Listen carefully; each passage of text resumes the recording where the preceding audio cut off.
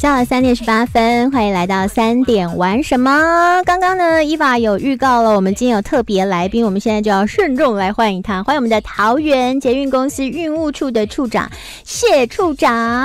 好，大家好，主持人好。处长今天呢来到我们的三点玩什么，也有很重要的讯息跟我们线上所有听众朋友们分享。我刚刚有跟听众朋友说，最近有好多关于桃园的一些政策啊，跟一些发展。我自己上个礼拜也去了一趟桃园，真的好想住在那里哦。谢谢。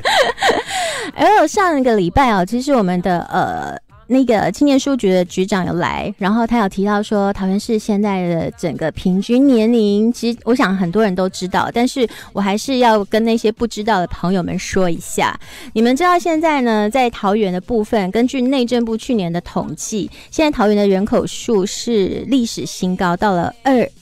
二二九点六万，两百多万的人内，而且呢，六都当中，它的人口数是目前正成长，而且是平均年龄最年轻的，所以现在桃园的发展力应该是很多人都很期待的。但是今天我们处长来到我们的节目当中，要跟大家分享的呢，呃，不管是不是居住在桃园的人，只要你在台湾，你一定都会使用到的这个器具这个交通工具，对不对？就是我们的桃捷，我们的捷运。那这一次呢，我们自从去年 T Pass 的月票开始之后，我想我们搭乘的人是越来越多。现在有好多人都是在两个城市当中这样做移动。那在我们呃捷运公司这一边有什么样子的因应的政策呢？哦，好，当然，呃，刚刚主持人也有提到了哈，桃园地区呃人口快速的增长，再加上啊行政院补助的这个。呃，公共通勤票 T Pass 一二零零，嗯，呃，开始实施以后啊，呃，我们机场捷运的沿线的运量也大幅的成长，嗯，从疫情前的呃日均量大概是七万六千多人，啊，成长到以一百一十二年刚开始实施 T Pass 的这个运平均日运量来看，已经到了呃十万出头的人哦，平均的已经每天都增长了三万多人的。旅次，嗯，那到了今年一百一十三年的前三个月，就是一到三月，嗯，我们的平均日历日运量已经啊突破了十一万哦。那在目前来看，后续机场捷运的沿线还有很多这个从化区跟呃市府的重大建设会陆陆续续呃的这个新建跟成立，还有交通部的第三行下的这个。呃，到时候到时候会启用的时候，对，那我们已经预估到这个旅运量会正成长的非常的快，嗯，所以当然在目前我们考虑到周边环境开始人潮来移入的时候，那我们也帮这个旅客去思考啊，那么桃园捷运公司是先秉持着先呃满足提供这个满足旅客的需求来带动周边的运量，所以我们从一百一十二年的四月一号开始，哦，运务处开始观察周边的整个机场捷运的运量，开始有刚刚提到的慢慢成长的趋势。嗯，所以我们在一百一十二年的呃四月十七号开始，就针对呃晨间哦通勤的旅客，开始我们先优先发了加班车。嗯，那陆陆续续从一百一十二年的七月三号、十月二十三号。总共我们在城间往北哦，就是芦竹往北台北这个方向，我们开了三班的北上的加班车。那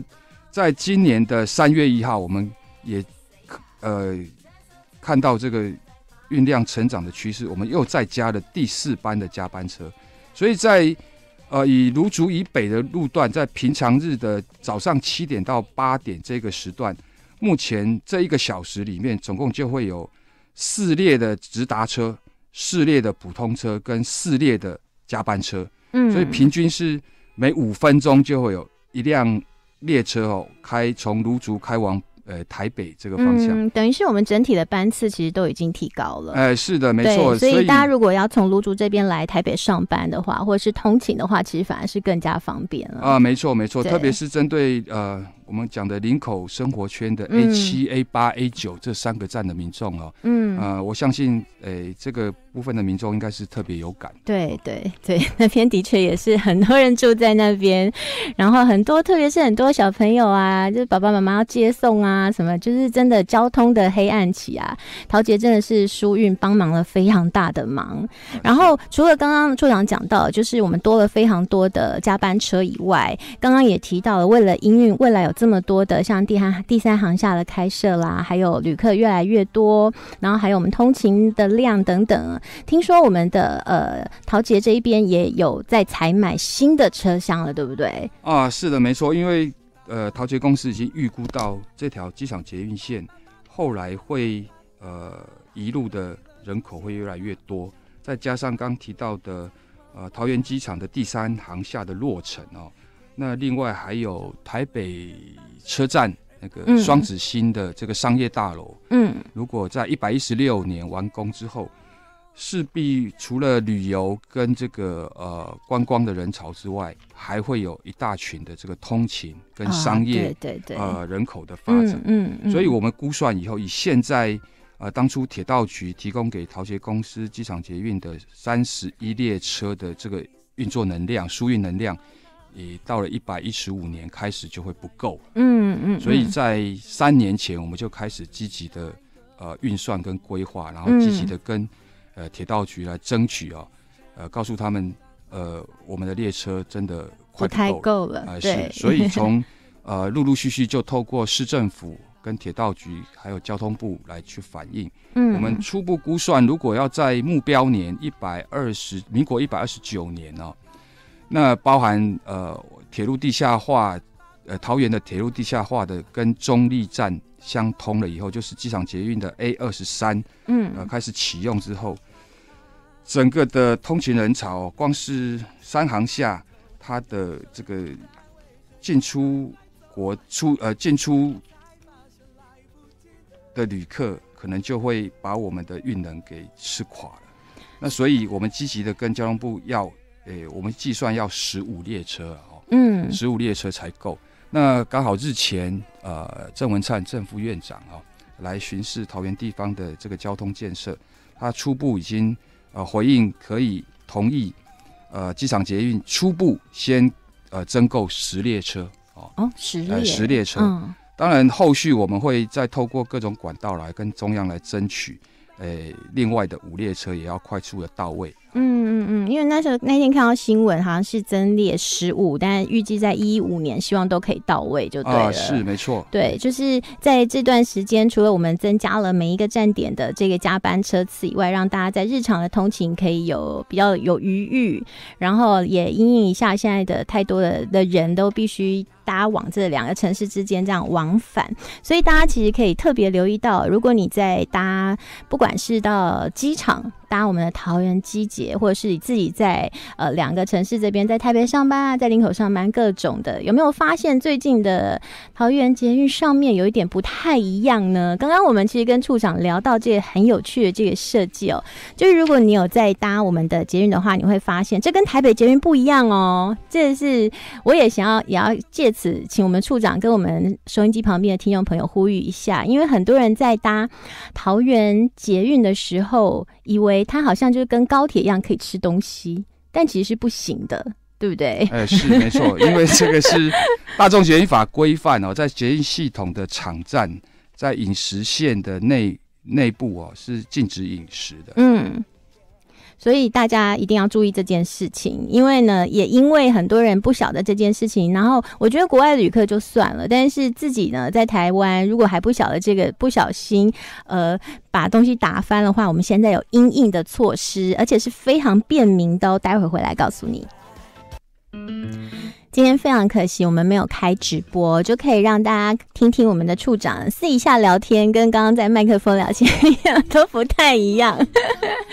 处长刚刚很有趣，处长说，因为呢做这个工作其实都。在要求数字化、量化，对不对？对。所以不自觉严肃了起来，因为这是你们日常最常就是跟长官报告啊，然后要达到这些数字啊，对不对？对，已经不知不觉养成习惯了，所以这是一个职业病。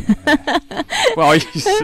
不会不会，我我觉得很有趣，因为呢，其实呃，看看其实现在很多我们不了解的职业的行。的一个某些面向，特别是大家对于呃公家机关总是会有诸多的要求，是，但是在那些诸多的要求背后，你得要先理解人家到底做了什么，而不是以我们自己的角度出发。就比喻哦，像我刚刚在前面跟大家讲的，我来问问收音机旁边的大家：如果你今天在搭捷运的时候，突然隔壁的那个乘客他不小心把他提的手摇饮给打翻了，还是珍珠奶茶？然后整个珍珠奶茶就溢满了车厢的时候，这个时候你需要找人来清理的时候，你会怎么做？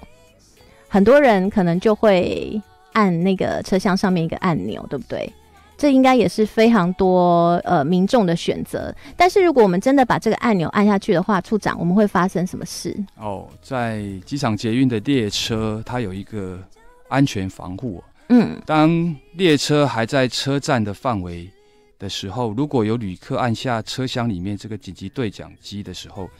呃，机机场捷运的列车这个时候是会被呃禁止出发的，就是整台列车就会停在那个地方。月台那边是，嗯，那会造成啊其他的民众跟着一起呃受到这个行程受到影响。嗯嗯嗯，那你你看哦，因为呢，大家台北捷运大家都习惯了，我们不会饮食。但我们刚刚提到我们在搭机场捷运，连我们自己。我自己记得搭机场捷运第一次，然后因为你都是早班嘛，你才会想说很早的飞机，然后你想要搭机场捷运。然后那时候我第一个也有会有个困惑说。这可以吃东西吗？因为那个环境跟捷运又不太一样，然后有有点像高铁，然后你就会觉得好像可以吃东西的那种感觉。所以你想，我们自己都没有这个意识，是不是我们在搭机场捷运逃劫的时候，我们会更容易吃东西、打翻东西？所以是不是我们在运行的这一段时间以来，很长列车被 卡在月台，太多人按红按钮了吗？偶尔啊，不然说很长了哦。但是因为大家有需要，这个可能是有紧急的需求，或者是呃任何的需要服务的部分，我们公司也工作人员都会秉持着这个一定要赶快啊把状况给解除掉，所以大家都是很很认真的去处理。嗯嗯，那也是因为发现有这个状况，然后我们希望更加的便民，所以听说我们呃在去年开始推出了一个 Q 洁净立马清的服务。这个服务是什么？可不可以处长跟我们分享一下？哦，是的，这个 Q 洁净立马清哦，其实也是来自于同仁这个创意发想啊，就就刚像主持人一讲的一样。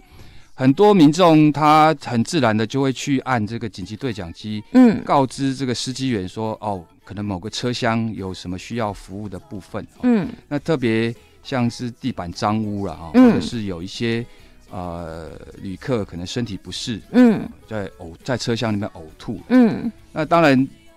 后来我们发现这种啊大概占了我们这个紧急对讲机作动次数的二分之一以上，哦，所以我们就觉得哦。可不可以有更方便、更精确的方式哦，来提供呃，让旅客可以很快的告知我们实际车厢上有什么状况？嗯嗯。那特别是针对只是需要清洁服务这样的状况的呃，来来去设想。嗯。所以我们在目前全线呃机场捷运全线二十二个车站跟呃所有在列车上在主线上运行的列车的每一个车门上，嗯，我们都贴了一张贴纸哦。嗯。那每一个贴纸上面有一个特别定位的 QR。Q R code，嗯嗯，那民众如果有类似像这种需要清洁的这个需求，其实可以不用再去按这个紧急对讲机，嗯嗯，只要拿起你的手机，哦，那扫描一下那个贴纸上面的 Q R code，嗯，这个在我们的系统上，针对这个 Q R 码的这个准确定位，会准确到哪一个车厢的哪一个车门，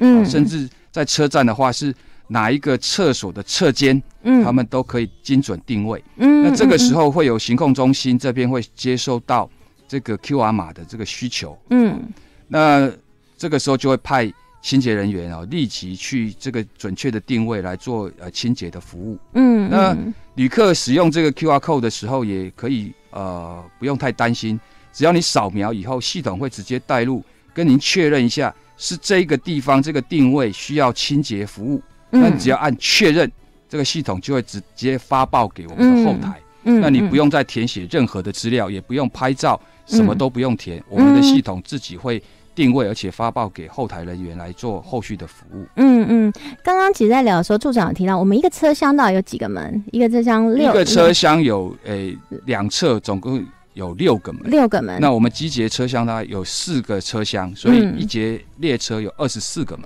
等于是每一个车门旁都有一个 Q R code，然后厕所也有，厕所每一个侧间都有。因为如果你今天上厕所，突然发现怎么很脏的时候，你也可以扫描这个 Q R code。然后我跟大家讲，是我觉得这很特别，也是刚刚处长分享的时候，我才知道这设计有多贴心。因为那时候我看到这个设计的时候，我心里就想说，可是很多长辈就是不会扫 Q R code 啊，就是心里面会有很多的 murmur。结果没想处长说，这个 Q R code。真的就像刚刚处长分享了，大家如果发现你现在所在的捷运的车厢，然后有脏的东西，不管是呕吐物啦，或者是一些垃圾啊，需要清洁人员来清理的话，你就直接拿你的手机扫那个 Q R code，用相机就拍，就会点进去一个连接嘛，对不对？对。然后这个连接呢，它直接就会告诉你说，你是不是要清洁，或者是你是否同意。什么什么什么，然后你就按同意就对了。对，只确认就可以只只要两次的选择而已，一个就是进去，然后再按同意。没错，因为这每一个 Q R code 都已经精准的定位，等于是你现在看到的任何一个 Q R code 都是独一无二的。哎，是的，没错。对，然后呢，你不用呃紧张，因为呢，在下一站的时候，他们就会借由这个系统去通知下一站的清洁人员，他就会上他的车厢，然后去做清洁的动作。对对对，等于是。大家不会等到这台列车啦，慢慢不知道到哪里的时候，我们才有清洁人员进来，就太晚了。哎，就是时时刻刻的都在监控整个车厢的清洁，就对了。没错，所以这个也要非常仰赖所有的呃使用的工呃这个工具的朋友们，大家要记得要来使用这个东西，因为也是因为大家不停的这样子使用，我们才可以一直滚动式的调整嘛。就是像刚刚从我们从按钮到这个 Q R code。市府同仁真的是很有创意诶，因为要一直去发想一些东西，然后让这个作业的流程可以更加精简一点，又可以让呃使用的民众可以更加的方便，真的是相当不容易。哎，这个也是也是仰赖在台湾的生活习惯啊，因为在台湾的这个捷运系统啊，已经是成为大家一个市民的一个骄傲。嗯，常常被国外的媒体报道说，台湾的捷捷运是。呃，舒适，真的快速，没错，便捷，嗯，而且又干净，没错。因为所以各个台湾的各个捷运公司都秉持着要提供这个优优质的服务，然后创造一个让旅客可以舒适搭乘的环境，所以大家都呃绞尽了脑汁。嗯，那当然也拜这个科技进步的这个这个呃诶所示啊。嗯，所以我们只要发想。当初就是透过五 G，嗯，再加 QR 码这样的服务，嗯，就可以很快的啊来来做这个提供舒适环境的这个服务。嗯嗯，那因为我们大家都知道，其实现在桃园捷运这边还有很多沿线正在开发延展当中，对。然后其实还有一些站呢，可能现在很多人都呃比较少去。但是未来它可能都会是重要的发展区，然后所以其实有呃一些呃除了像之前大家看演唱会的时候啊，一定会去那些，那一定都是大站嘛。是对，但是呢，我觉得桃园捷运还有一个很有趣的，就是他把一个这么科技的东西，感觉有点像是在为未来的航空城来做准备。这个叫做智慧车站。处长要不要跟大家讲一下什么是智慧车站？好，这个当然也是刚我讲的拜科技进步所赐哈。嗯，那我们在一些呃刚开发的一些站点，特别是呃我举例来说，目前机场捷运有一个 A 二十的新南站，嗯，它目前是桃园市政府准备要做新的都市计划，那周边正在整地，嗯，可是，在整地之前呢。呃，周边的住户比较少嗯，所以当那个车站进出一天进出的人就当然相对的比较少，嗯嗯嗯，那公司就在发想，可不可以呃用一个更科技的方式啊，然后来顺便呃减少一下人力的这个成本，嗯，所以我们就利用了这个 AI 的智慧跟五 G 快速连接的这个特性啊，嗯，在目前在 A 十 A 二十站试办了一个。呃 AI 智慧的站务员。嗯，那当初一开始发想的时候，除了呃让旅客有对讲的这个需求之外，嗯，公司考量到呃如果只有单纯的语音服务，可能太冷冰冰了。对，那所以就。创造了一个虚拟人物，叫做菲菲啊。我跟他说，菲菲很可爱哦。还是她是一个邻家女孩的形象。对啊，而且好有气质啊。是。那这个时候再让旅客在面对 AI 智人工智慧的时候，不会有那种冷冰冰的感觉。对。那他当然透过 AI，他会主动的收集语音，这个旅客要跟他直接对话，他会去做呃旅客需求的辨识，然后提供可能是你要加值。呃，电子票证，嗯。或者是要买呃单程票，嗯。或者是要询问列车的时刻表，嗯，或者是站区附近的景点要怎么去，嗯，呃，这个菲菲呢，它都可以透过它的资料库搜寻之后，嗯，呃，满足旅客的需求，嗯嗯。当然，有的时候或许有些呃语音啊，当然呃，可能年纪比较长的，可能有有自己的独特的口音、口腔，这个不不口音，它这个比较 难辨识的时候，嗯，那。哦，我们的菲菲也会寻求帮助，他会问。呃，你在说什么？对，可以可不可以重复一次？嗯，如果还是诶无法满足旅客需求的话，重复一次，他他会跳出一个是否需要呃他的学长姐来帮忙哦。那他的学长姐呢，其实就是我们透过五 G 的传输技术，嗯，在隔邻站就是 A 二一站的站务员，他是透过远端遥控的方式，嗯啊进入菲菲的这个系统，嗯，那他会出现一个虚拟的。呃，人物，嗯那直接来跟这个呃需要服务的旅客来做对话。那我好好奇哦，菲菲如果没办法处理的时候，他叫来的学长姐每一次都会不一样吗？啊，那要看当时在 A 二一站值班的商务同仁。当然，对，声音是不一样，但我说那个画面呢？画面都会是一样，也是一个邻家女孩的形象。哦，很好奇会长什么样子。那如果民众有有这个好奇心，也可以不妨去 A 二十站试试看。对对对，大家可以到，我觉得一个新的呃路线起来的时候，大家都可以去走走看看，看看我们现在的这些规划，它有一些什么样子不一样的展现。这样，像我觉得这个。呃，智慧车站就很适合大家没事搭去那边跟 菲菲聊个天啊。当然，我们也希望民众能够多多利用这一套系统，因为我们在后台哦也会尽量的去收集每一次旅客跟菲菲互动的一些资料，包含可能语言上啊，或者是他的语义让民众不了解，我们都会在一直不断的滚动式的检讨，让这个 AI 人工智慧。持续的去学习哦，嗯，能够快速的满足旅客的需求。没错，总而言之呢，今天呢，谢谢我们处长来跟我们分享了这么多，在我们的桃园捷运现在增设这么多班次以外，让大家在通勤上面或者是到机场上面有更加的便利以外，也要仰赖每一个人的维护以及这些使用，可以给我们提供更多的数据去精进。今天很谢谢我们的处长，谢谢你。哎，谢谢。那我也工商广告一下，嗯，我们希望。让这个呃北北桃部分的这个民众哦，也可以多多利用呃机场捷运到各个景点去做观光休闲旅游啊。那我们也非常桃园捷运公司也竭诚的欢迎各位民众能够呃来啊搭乘机捷来体验我们的服务。没错。